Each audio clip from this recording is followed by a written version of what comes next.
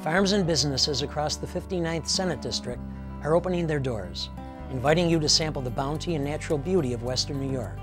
From Erie County, across Wyoming, into Livingston and Monroe counties, there's something for everyone. Whether you're looking for the freshest homegrown food or an authentic farm experience, it can all be found in your own backyard. Pick up a copy of our agro-tourism guide at your local town hall or chamber of commerce, or visit one of our district offices. What are you waiting for? Come see what your neighbors have to offer.